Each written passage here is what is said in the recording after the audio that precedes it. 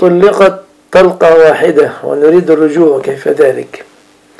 إذا كنت لم تزالي في العدة وكان الطلاق رجعيا ليس بينا فله أن يقول راجعتك ويشهد اثنين فقط.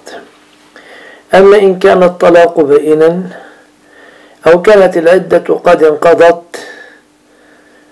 فلا بد من عقد جديد وصداق جديد وولي وشهود Barakallahu fiquem.